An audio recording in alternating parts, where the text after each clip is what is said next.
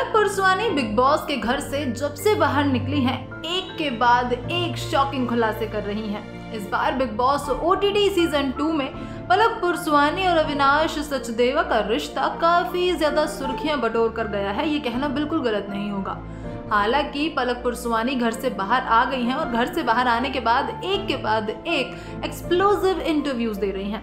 उन इंटरव्यूज़ में वो अक्सर अविनाश सचदेवा के बारे में बात करती नज़र आई हैं और ऐसे में उनका एक और एक्सप्लोजिव इंटरव्यू सामने आया है, जिसमें उन्होंने अपने ब्रेकअप के बारे में बात करते हुए एक शॉकिंग खुलासा किया है। दरअसल अपने पेरेंट्स के रिएक्शन पर बताते हुए उन्होंने बताया कि किस तरह उनके और अविनाश के ब्रेकअप पर उनका रिएक्शन रहा था। आपको बता दें कि पलक पुरसवानी और अविनाश सचदेवा एंगेजमेंट भी कर चुके थे। एज पर रिपोर्ट्स इन दोनों के लिए यही कहा जाता है कि ये दोनों एंगेज थे और जल्द से जल्द शादी के बंधन में बंधने वाले थे। लेकिन इससे पहले ही पलक पुरसवानी को अविनाश की चीटिंग के बारे में पता चल गया। इनफैक्ट पलक की दोस्त तक इस बात को क्लेम करती नज़र आई है कि भाई आफ्टर एंगेजमेंट भी अविनाश ने उनको चीट किया।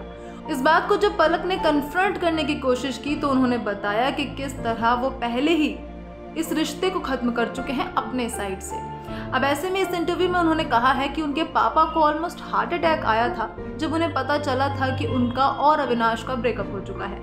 दरअसल, जब इंटरव्यू में उनसे पूछा जाता है कि आपके पेरेंट्स का क्या रिएक्शन था जब अविनाश से आपकी सगाई टूटी, आपका ब्रेकअप हुआ तो इस पर पलक कहती हैं कि मेरे पापा को हार्ट अटैक आया था जब उन्हें पता चला कि अविनाश मुझे चीट कर रहा था और अब हमारा ब्रेकअप हो चुका है।